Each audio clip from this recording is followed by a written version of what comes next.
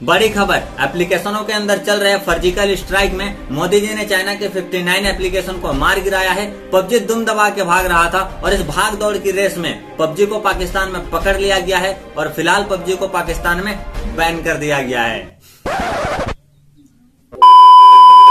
दोस्तों, इंडिया के अंदर चाइना के 59 एप्लीकेशन को बैन कर दिया गया है, जिसमें लोगों का प्यारा दुलारा एक टिकटॉक भी शामिल है। और टिकटॉक के हटने से टिकटॉकर्स को तड़पते हुए देखकर कुछ लोगों का ये सवाल उठाना था और कुछ लोगों का यह कहना था कि लगे हाथ पबजी को विलास मार ही देना चाहिए। तो इसमें कुछ लोगों का यह कहना था कि पबजी गेम चाइना का नहीं है, इसलिए पबजी बैन नहीं होगा। लेकिन आपकी जानकारी के लिए मैं आपको बता दूँ कि जिस वक्त पबजी गेम चाइना के अंदर इंटर होना चाह रहा था, उस वक्त चाइना के अंदर पबजी को नहीं घुसने दिया जा रहा था। कुछ उद्दो फुद्दो अनाप शनाप रीजन बता के उसको अपने अंदर इंटर होने से मना कर दिया चाइना ने। लेकिन जब पबजी मोबाइल को टेंसेंट जो कि चाइना की कंपनी है, उसको 10 परसेंट का शेयर पबजी के अंदर दिया गया, तब जाके चाइना के अंदर पबजी इंटर कर पाया। यानी इस हिसाब से अगर देखा जाए तो 10 परसेंट की हिस्सेदारी अभी चाइना का है पबजी मोबाइल के अंदर में। खैर, ये तो हो गई हिस्सेदारी की बात। अब बात करते हैं एप्लीकेशनों के अंदर चल रहे फर्जिकल स्ट्राइक के बारे में। तो हमारे देश में चाइना के 59 एप्लीकेशन को मोदी जी ने बैन कर दिया और पाकिस्तान में फ़िलहाल पबजी को बैन कर दिया गया है। अब मैं ये सोच रहा हूँ कि कहीं पाकिस्तान वाले ये ना बोलने लगे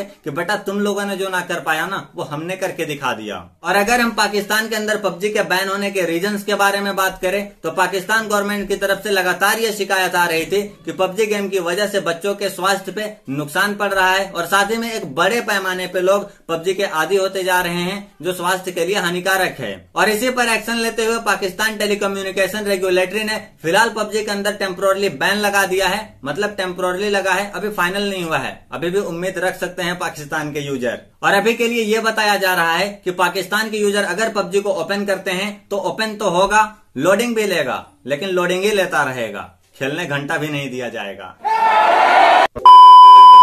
इसी के साथ साथ में पाकिस्तान के पीटीए ने अपने ट्विटर हैंडल से ट्वीट करके कहा है कि पबजी गेम समय की बर्बादी है। इससे बच्चों के फ़िज़िकल और मेंटल हेल्थ पे बुरा असर पड़ रहा है। पीटीए ने कहा, पबजी बंद करने का फैसला उस वक्त उठाया जब आम लोगों के साथ मीडिया मीडिया रिपोर्टर्स में भी पबजी गेम की वजह से आत्महत्या के मामले बढ़ने की शिकायत आने लगी।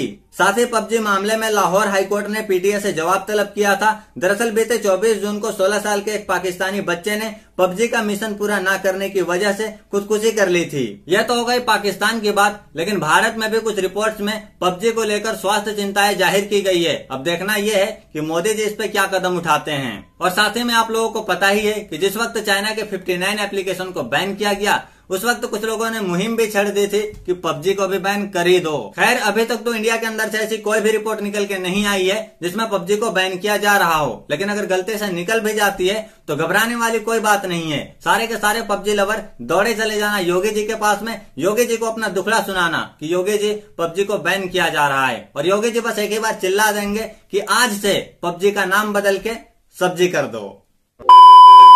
तो दोस्तों, ये थी आज की वीडियो, और मुझे उम्मीद है कि आप लोगों को वीडियो काफ़ी अच्छा लगा होगा, और जिन लोगों ने भी हमारी पिछली वीडियो को नहीं देखा है तो जाके उस वीडियो को देख लीजिएगा।